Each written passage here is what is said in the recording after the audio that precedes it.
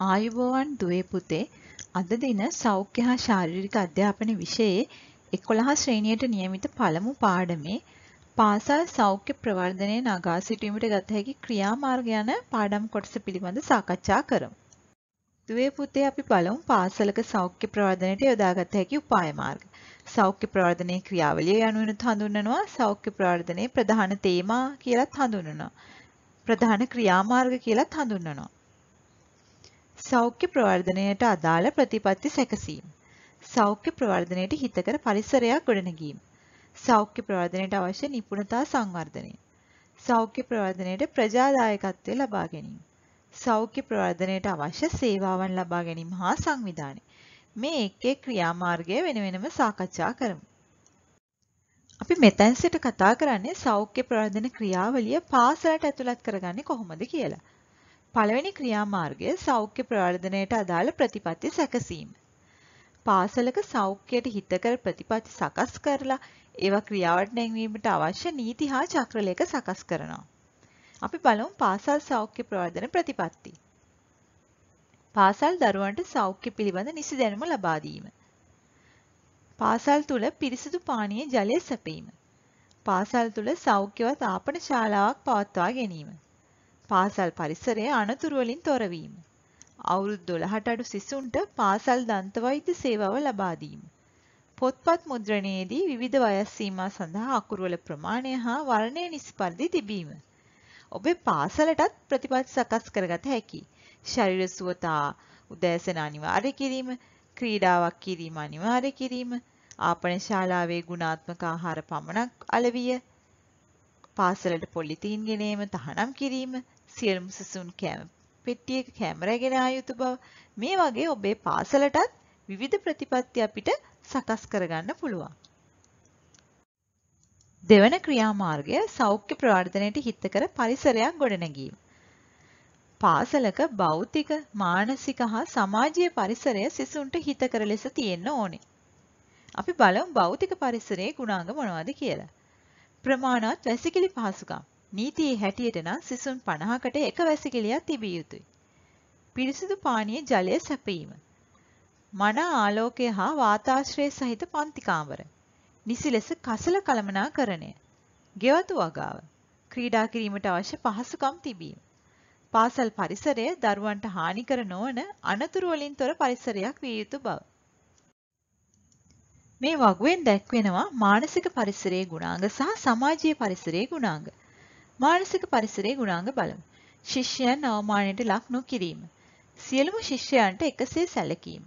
පාසල් පරිසරය හිංසනයෙන් තොර විය යුතුය. ඒ වගේම උපදේශන සේවාවන් තිබිය යුතුය. පාසල් පරිසරය මානසික ආතතියෙන් තොර විය යුතුය. සමාජීය පරිසරයේ ගුණාංග බලමු. ප්‍රජාතාන්ත්‍රික බව ආරක්ෂා විය යුතුය. කණ්ඩායම් වැඩසටහන් සඳහා සිසුන්ට කඩ ලබා දිය යුතුය. මනා ගුරු සිසු සම්බන්ධතා තිබීම. විවේකය ප්‍රයෝජනවත්ව ගත කිරීමට වැඩසටහන් සකස් කර තිබීම. විවිධ සමිති සමාගම් තිබීම. ක්‍රීඩා ක්‍රියාකාරකම් සඳහා අවස්ථාව ලබා දීම. සෞඛ්‍ය ප්‍රවර්ධනයට අවශ්‍ය නිපුණතා සංවර්ධනය. පාසල මගින් සිසුන්ගේ නිපුණතා සංවර්ධනයට අවශ්‍ය පහසුකම් ලබා දිය යුතුය.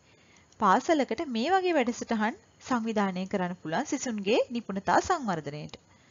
නිවාසාන්තර ක්‍රීඩා සෞඛ්‍ය දැනුම සංවර්ධනයට පොත්පත් ලබා දීම, වැඩමුළු සංවිධානය, කණ්ඩායම් තරඟ, විවාද තරඟ, නාට්‍ය තරඟ පැවැත්වීම. මෙමගින් සිසුන්ගේ කණ්ඩායම් සහභාගීත්වය වැඩි දියුණු වෙනවා. විවිධ ප්‍රසංග පැවැත්වීම. සිසුන්ගේ කලා හැකියාවන් එළි දැක්වීමට. උදැසන රැස්වීම් සංවිධානය. ව්‍යායාම හා ක්‍රීඩා පුහුණුවීම. සිසුන්ගේ කායික, ශාරීරික, මානසික සහ ආධ්‍යාත්මික සෞඛ්‍ය සංවර්ධනයට. සමිති සංගම් ඇති කිරීම. ප්‍රදර්ශන අත්කම් නිර්මාණ දින සංවිධානය. එලිමහන් කඳවුරු සංවිධානය. විවිධ දින සංවිධානය. උදාහරණයක් වශයෙන් සිංහල සාහිත්‍ය දිනය, වාණිජ දිනය, විද්‍යා දිනය, කලා දිනය යන ආදිය. අපි බලමු පාසලක් සෞඛ්‍ය ප්‍රවර්ධනයට ප්‍රජාදායකත්වය ලබා ගන්නේ කොහොමද කියලා.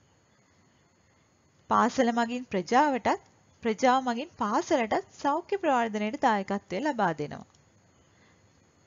පාසල මගින් ප්‍රජාවට දායකත්වය ලබා දෙන හැටි බලමු. අක්ෂිසායන පැවැත්වීම, බෝනෝන රෝග පිළිබඳ දැනුවත් කිරීමේ වැඩසටහන්, රුක් රෝපණ වැඩසටහන්, ඩෙන්ගු මර්ධනය පිළිබඳ වැඩසටහන්.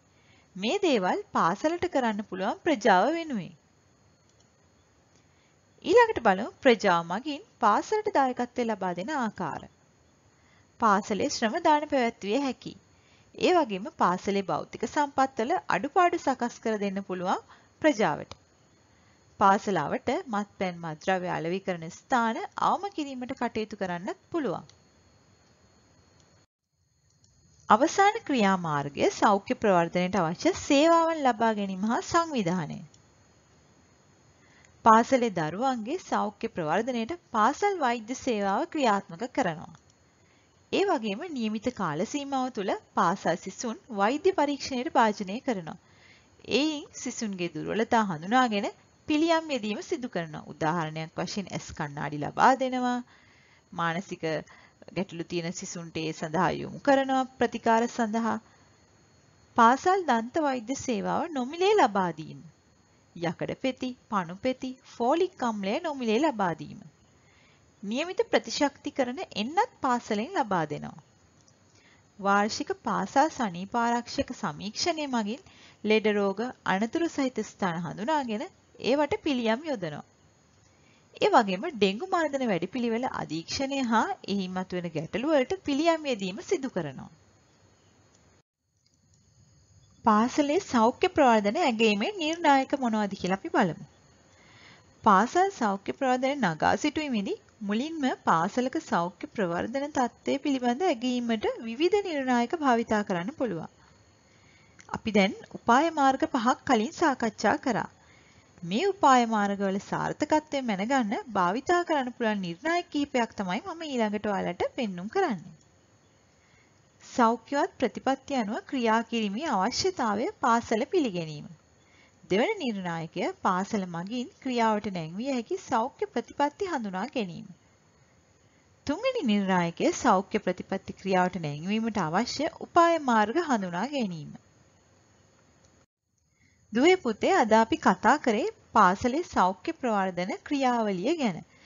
මේ සම්බන්ධයෙන් මම ඔබට ක්‍රියාකාරකමක් දෙනවා. ඔබේ පාසලේ සෞඛ්‍ය ප්‍රවර්ධන මට්ටම වැඩි දියුණු කිරීමට ගත හැකි ක්‍රියාමාර්ග මොනවාද? පහත වගුව ඇසුරෙන් ලියන්න. මේ වගුව දුවේ පුතේ ඔබේ පෙළ පොතේ 8 වෙනි පිටුවේ තියෙනවා. අපි බලමු උපාය මාර්ග පහ වෙන වෙනම තියෙනවා. ඒ වගේම පවතින తত্ত্বය වෙනස් කළ යුතු ආකාරය හා ඒ සඳහා ගත හැකි ක්‍රියාමාර්ග ඔබට ලියන්න තියෙනවා. අපි එකක් සාකච්ඡා කරමු. සෞඛ්‍ය ප්‍රතිපatti. කසල කළමනාකරණ ප්‍රතිපatti. ඔබේ පාසලේ දැන් පවතින తত্ত্বය කුමක්ද? කසල කළමනාකරණ ප්‍රතිපත්තිය ඉතා හොඳයිද? හොඳයිද? මධ්‍යස්ථ මට්ටමේද තියෙන්නේ දුර්වලයිද? වෙනස් කළ යුතු ආකාරය පාසලේ කසල කළමනාකරණ ප්‍රතිපත්තිය වෙනස් කිරීමට කළ හැකි දේවල් මෙතන ලියන්න පුළුවන්. ඒ වගේම ඒ සඳහා ගත හැකි ක්‍රියාමාර්ගත් ඔබට ලිවිය හැකි ආපනශාලා ප්‍රතිපත්තිය.